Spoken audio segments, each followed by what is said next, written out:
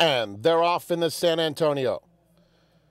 Cat Burglar began well, so did Donworth, but it's a very even break, and Cyrus Alexander is up close too. El Kabeir Extreme outside is only two lengths off the early tempo. They're followed by Imperative outside Opportunity. Hard Aces inside of that pair, and Blingo is the early trailer. Into the first turn, it's Donworth who went a little bit wide, and now Cat Burglar has the lead to himself by three quarters of a length.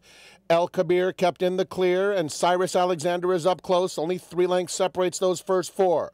Imperative is fifth, seven lengths off the lead. Hard Ace is three quarters behind him. Opportunity relaxed early, and then it's Blingo at the back.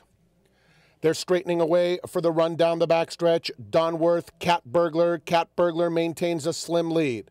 El Kabeir has settled down in third, and Cyrus Alexander to his inside fourth, two and a half lengths off the leader. They're followed by Imperative. Opportunity is now getting a little bit closer on the outside. He's within seven lengths of the pacemaker, a length and a half to Hard Aces, and Blingo has a lot of work to do from there. Heading to the 3 8th pole, Cat Burglar still in front by a neck. He's been hounded the entire journey by Donworth. El Kabeir hard ridden a length and a half back third. Cyrus Alexander. Opportunity is in fifth. He's only four lengths off the lead, advancing on the outside. Hard Aces on the inside of Imperative and then Blingo.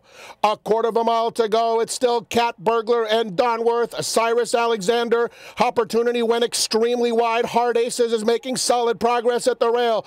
They're a furlong from the finish, and even Imperative is getting involved. He's starting to roll extreme outside. Here comes Imperative and Opportunity. They're side by side trying to get to Donworth. Donworth, Opportunity, and Imperative. Here's the line. Photo finish. It's so close. Imperative and Opportunity noses apart. Donworth was a good third. Cat Burglar finished fourth.